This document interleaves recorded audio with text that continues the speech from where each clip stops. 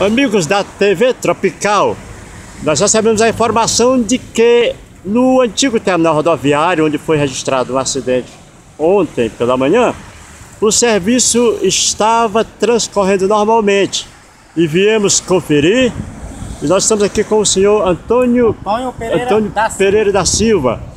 É, senhor Antônio, o senhor encontra-se aqui na obra, mas não está trabalhando, segundo o senhor nos falou, né? Não.